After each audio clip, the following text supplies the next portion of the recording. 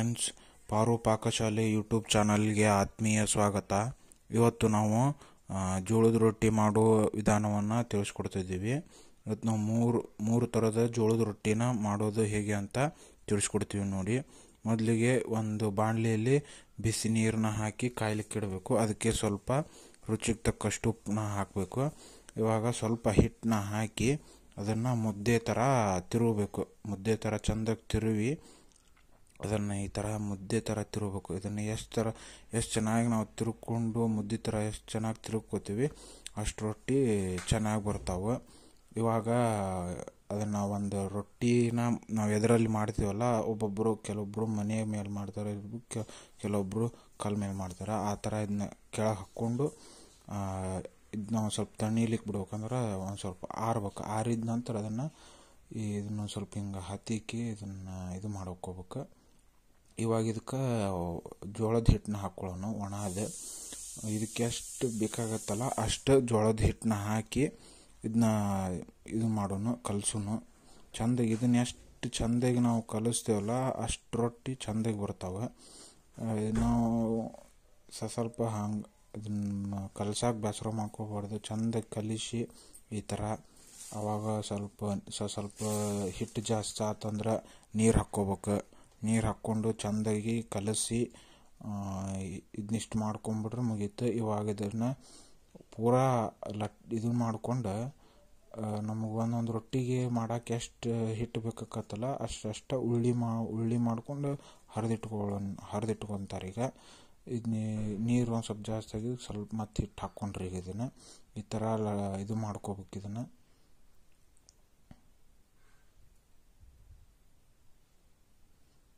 ಪೂರಾ ಇಷ್ಟು ಇಷ್ಟು ಚಂದ ಮಾಡ್ಕೊಂಡು ಇದನ್ನಿಷ್ಟು ಮಿದ್ದಬೇಕು.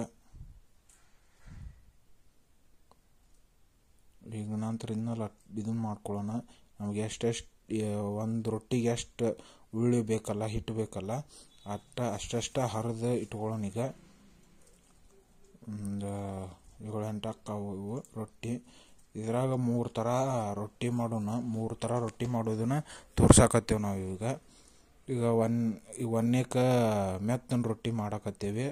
ಅದನ್ನು ನೋಡೋಣ ಬರ್ರಿ ಈಗ. ಈಗ ಒಂದು ರೊ, ಒಂದು ರೊಟ್ಟಿ ಎಷ್ಟು ಹಿಟ್ಟು ಬೇಕು ಅಷ್ಟು ಹರ್ಕೊ ತೊಗೊಂಡು ಅದನ್ನು ಒಂಚೂರು ಮತ್ತೆ ಇದು ಮಾಡ್ಕೋಬೇಕು. ಅದನ್ನು ಒಂದು ಸ್ವಲ್ಪ ಈ ಥರ ಇದು ಮಾಡ್ಕೋಬೇಕು. ಅದಾದ್ಮ್ಯಾಗ ಇದನ್ನು ರೌಂಡಾಗಿ ಮಾಡ್ಕೊಂಡು ಹಿಂಗೆ ಈ ಥರ ರೌಂಡಾಗಿ ಮಾಡ್ಕೊಂಡು ಅದನ್ನು ಬಡದು ಈಗ ಲಟ್ಟಿಸ್ಬೇಕು ಅದನ್ನ ಇದಕ್ಕೆ ಒಂಚೂರು ಹಿಟ್ಟು ಹಾಕ್ಕೊಂಡು ಲಟ್ಟಿಸೋದಷ್ಟೆ. ಈಗ ಹಂಚು, ಹಂಚಿಡೋಣ. ಅಂದ್ರೆ ಈ ಲ ರೊಟ್ಟಿ ಲಟ್ಸು ಮಟ ಅಂದ್ರೆ ಹಂಚು ಕಾಯ್ತೈತಿ. ಈಗ ಇದಕ್ಕೆ ಒಂದು ಸ್ವಲ್ಪ ಹಿಟ್ಟು ಹಚ್ಕೊಂಡು ಈ ಥರ ಲಟ್ಟಿಸ್ಬೇಕು. ಈ ಥರ ಚಂದಾಗಿ ಲಟ್ಟಿಸಿ, ರೌಂಡಾಗಿ, ಪೂರಾ ದೊಡ್ಡದಾಗಿ, ರೌಂಡಾಗಿ ಆಗೋ ಥರ ಲಟ್ಟಿಸ್ಬೇಕು ಇದನ್ನು, ಚಂದಾಗಿ.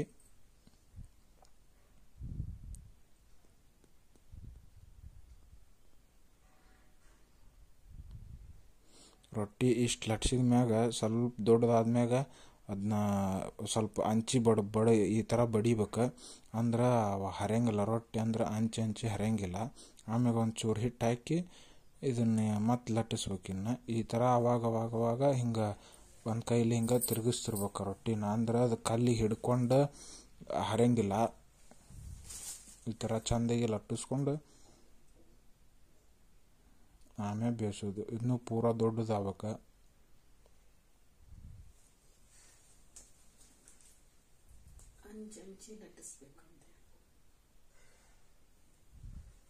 ಅದನ್ನು ಅಂಚೆ ಅಂಚಿನ ಲಟ್ಟಿಸ್ಬೇಕು ಇದನ್ನು. ಅಂಚೆ ಅಂಚೆ ಇರ್ತದಲ್ಲ ಪೂರ ಲಟ್ಟಿಸ್ಬೇಕು ಇದನ್ನ ಅಂಚಿನ.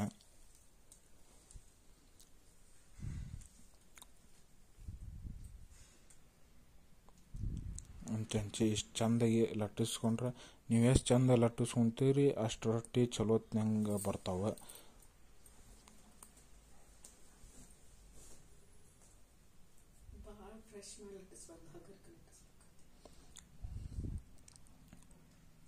ಈಗ ರೊಟ್ಟಿ ನೀವು ಲಟ್ಟಿಸ್ತಿರ್ತೀರಲ್ಲ ಭಾಳ ಹತ್ತಿಕ್ಕೂ ಲಟ್ಟಿಸ್ಬೇಡ್ರಿ.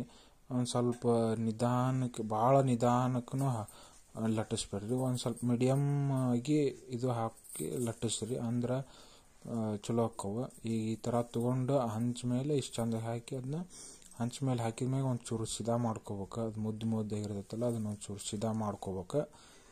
ಆಮೇಲೆ ಅದು ಕಾಟನ್ ಅರ್ಬಿ ತೊಗೊಂಡು ಅದಕ್ಕೆ ಒಂದು ಸ್ವಲ್ಪ ನೀರು ಹಚ್ಚಿ, ನೀರು ತೊಗೊಂಡು ಅದಕ್ಕೆ ರೊಟ್ಟಿಗೆ ಈ ಥರ ಹಚ್ಬೇಕು ರೊಟ್ಟಿಗೆ ಈ ಥರ ಹಚ್ಚಿದ ಮ್ಯಾಗ ಇಷ್ಟ ಹಚ್ಚೋದು, ಮತ್ತೇನು ಜಾಸ್ತಿ ಹಚ್ಚೋಕೆ ಹೋಗ್ರಿ ಅಂದ್ರೆ ನೀರು ಹಚ್ಚಿದ್ರೆ ಅದು ಚಂದಾಗ ಬೇಯ್ತೈತಿ.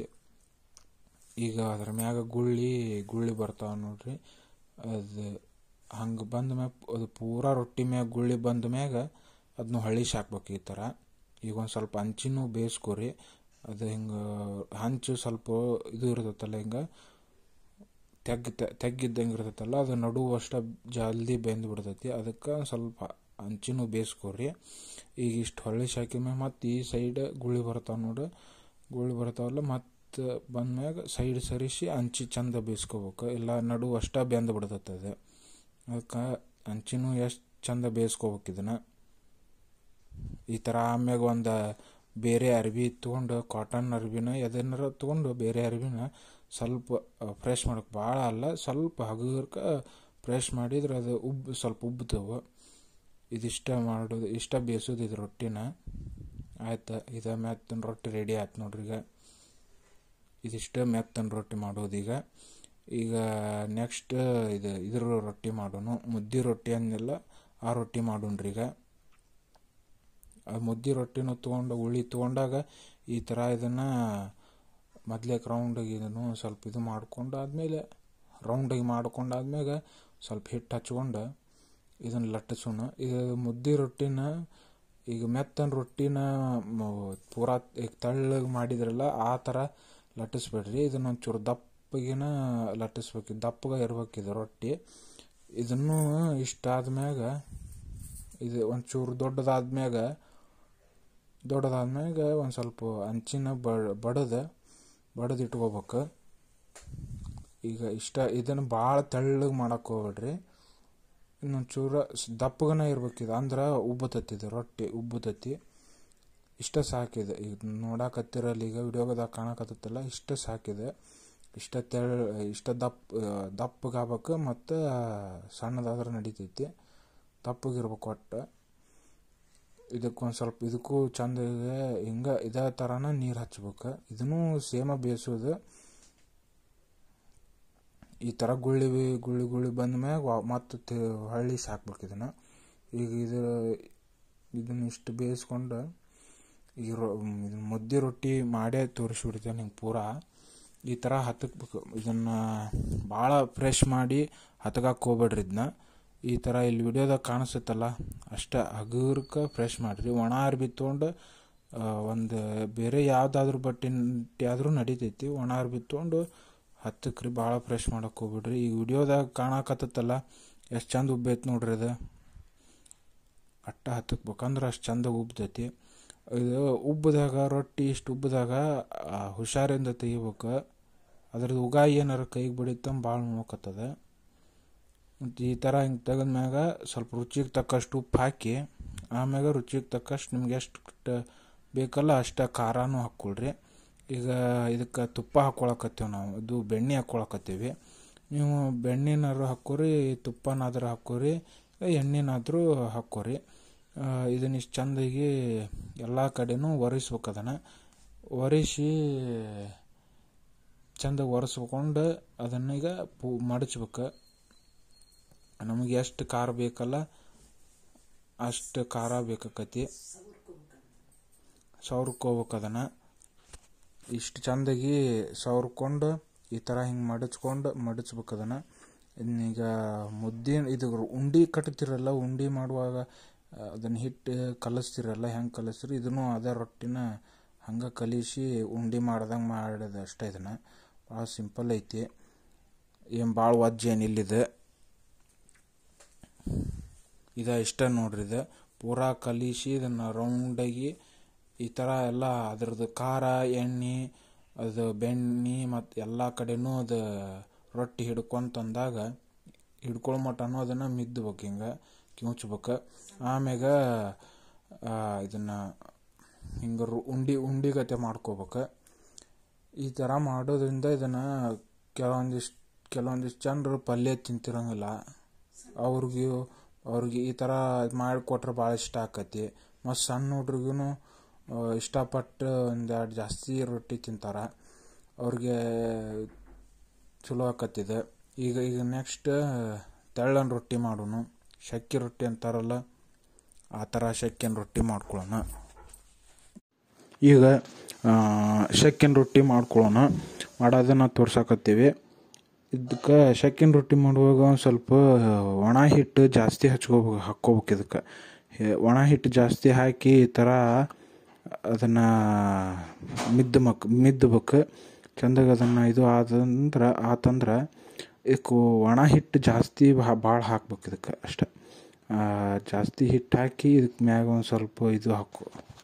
ಇದಕ್ಕೆ ಮ್ಯಾಗ ಮ್ಯಾಗ ಸ್ವಲ್ಪ ಆ ಕರಿ ಎಳ್ಳು ಹಾಕ್ಕೋಬೇಕು ಕರಿ ಎಳ್ಳು ಹಾಕಿ ಇಷ್ಟು ಪೂರ ಅದು ಸಣ್ಣ ಅದನ್ನು ರೊಟ್ಟಿ ಇನ್ನೂ ಅದನ್ನು ರೌಂಡಾಗಿ ಮಾಡಿ ತಟ್ಟಿರ್ತಾರಲ್ಲ ಸ್ವಲ್ಪ ಆವಾಗ ಎಳ್ಳು ಹಾಕ್ಕೊಳ್ಳೋದು ಭಾಳ ಒಳ್ಳೇದು. ಅಂದ್ರೆ ಚಲೋ ಆಕತಿ. ಈಗ ಇದನ್ನು ಇಷ್ಟು ಎಳ್ಳು ಹಾಕಿ ಲಟ್ಟಿಸಿ, ಸ್ವಲ್ಪ ಲಟ್ಟಿಸ್ಬೇಕು. ಲಟ್ಟಿಸಿ ಹೇಳಿದ್ನಲ್ಲ ಆವಾಗ ನಂಗೆ ಒಂಚೂರು ಹಂಚಿ ಬಡ್ಕೋಬೇಕು. ಹಂಚಿ ಬಡೋದೆ ಅಂದ್ರೆ ರೊಟ್ಟಿ ಹ, ಇದು ಆಗಲ್ಲ ಹರಿಯಂಗಿಲ್ಲ ಹಂಚಿ ಹಂಚಿ ಹರಿಯಂಗಿಲ್ಲ ಇದಕ್ಕೆ ಒಣ ಹಿಟ್ಟು ಯಾಕೆ ಜಾಸ್ತಿ ಹಾಕೊಳ್ಳೋ ಹೋಗ್ಬೇಕು ಅಂತಂದ್ರೆ ಇದು ಒಣ ಹಿಟ್ಟು ಜಾಸ್ತಿ ಹಾಕಲಿಲ್ಲ ಅಂದ್ರೆ ಮೆತ್ತಗೆ ಆಗ್ಬಿಡ್ತೈತಿ. ಮೆತ್ತಗೆ, ಮೆತ್ತನ ರೊಟ್ಟಿ ಆಕತ್ತಲ್ಲ, ಸೇಮ್ ಅದ ಆಗ್ಬಿಡ್ತೈತಿ. ಅದಕ್ಕೆ ಇದಕ್ಕೆ ಜಾಸ್ತಿ ಒಣ ಹಿಟ್ಟು ಹಾಕಿ ಇದನ್ನ ಈ ಥರ ಲಟ್ಟಿಸ್ಬೇಕು. ಅದು ಮೆತ್ತನ ರೊಟ್ಟಿ ಮಾಡಿದಾರಲ್ಲ ಅದಕ್ಕಿಂತ ದೊಡ್ಡದಾಗಿ ಮತ್ತು ಸ್ವಲ್ಪ ಭಾರಿ ತೆಳ್ಳಗೆ ಲಟ್ಟಿಸ್ಬೇಕು ಇದನ್ನು. ಅಂದ್ರೆ ಬಾ ಚಲೋ ಅಕ್ಕವು ರೊಟ್ಟಿ. ಇಷ್ಟ ಇದನ್ನು ಮಾಡೋದು ಇಷ್ಟ. ಈಗ ಇದು ಲಟ್ಸಿದ್ದಾತ ಇದಿಷ್ಟು ಲಟ್ಸೋದಾತ ಇವಾಗ ಇದನ್ನು ಮಾಡೋಣ ಇದನ್ನು ತೆಗೆದು ಹಂಚಿಗೆ ಹಾಕ್ಕೊಳ್ಳೋದನ್ನು ತೋರಿಸ್ತೇವೆ ನೋಡ್ರಿ ಈಗ.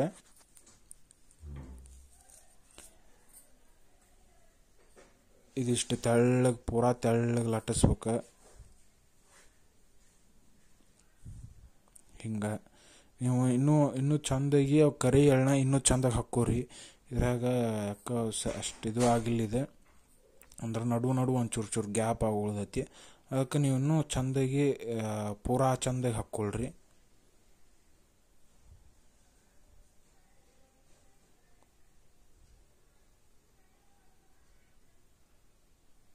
ಈಗ ಅದನ್ನು ತಕ್ಕೊಂಡು ಇಷ್ಟು ಚಂದಕ್ಕೆ ತ, ಹಗರ್ಗೆ ತಕ್ಕೋಬೇಕು. ಹಗರ್ಗೆ ತಕ್ಕೊಂಡು ಅದು ಇದು ರೊಟ್ಟಿ ಮಾಡೋ ಹಂಚು ಐತಲ್ಲ, ಈ ಹಂಚು ಬೇರೆದೈತಿ ಇದು ಬೇರೆದಂದ್ರೆ ಇದು ಅವ ಅದು ಮೊದ್ಲೇಕಿನ ಹಂಚು ಇದು ಒಂಚೂರು ತೆಗ್ಗಿದ್ದಂಗೆ ಇತ್ತು ಇದು ಪೂರಾ ಫ್ಲ್ಯಾಟಾಗಿ ಸಿದಾ ಐತಿ ಇದು ಅದಕ್ಕೆ ಇದು ಶಕ್ಕಿನ ರೊಟ್ಟಿ ಮಾಡಕ್ಕೆ ಇಂಥ ಹಂಚನ ತೊಗೊಂಡು ಭಾರಿ ಚಲೋ ಆಕತ್ತಿದೆ.